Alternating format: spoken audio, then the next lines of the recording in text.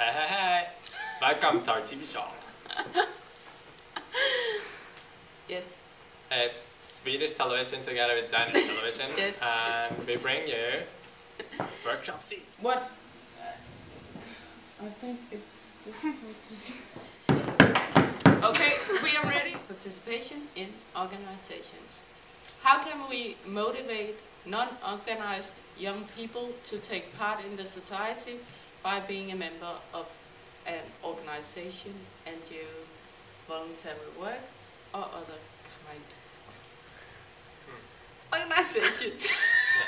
And one main goal has been also to discuss how we can engage non-organized youth and make them participate in society as well. Uh, and we've been discussing several things, haven't we?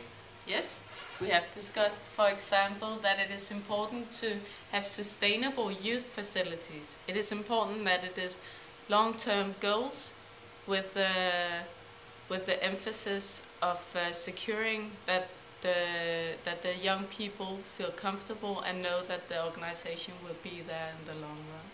Exactly. And we've also been discussing how important it is when you're like motivating youth that they they are guided and they are empowered to to take their ideas and do their own projects.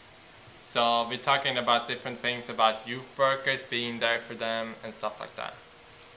Furthermore, we have discussed the importance in funding, if it's local, regional, national, or at EU level, to make it sustainable and make it a secure thing for the young people to participate in.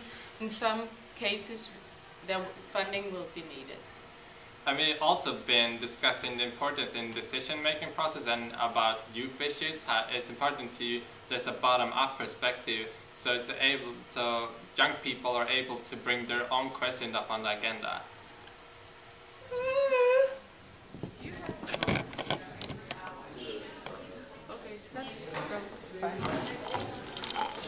What are you? Don't, don't go in front.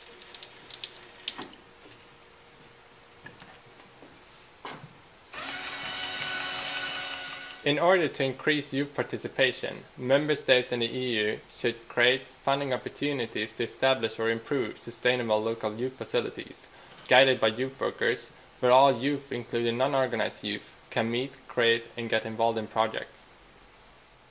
So the recommendation is about building some kind of youth spaces or using youth centers and have a youth worker there who can guide or empower youth, especially non-organized youth, to take part in projects or organizations eh, at the local level.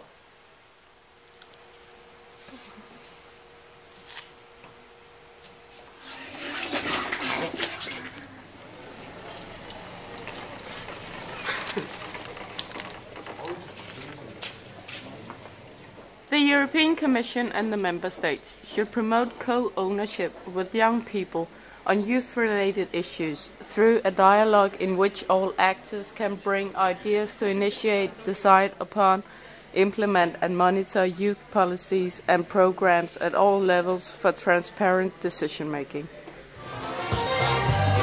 But it has to come here.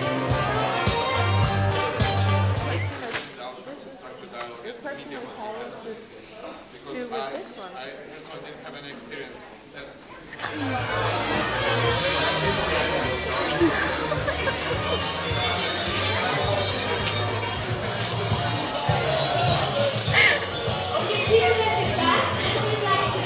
This recommendation basically refers to the importance of uh, the European Commission member state and youth organizations co-ownership about youth politics. It is about the cooperation between all parties which is equal. Should we try to do something?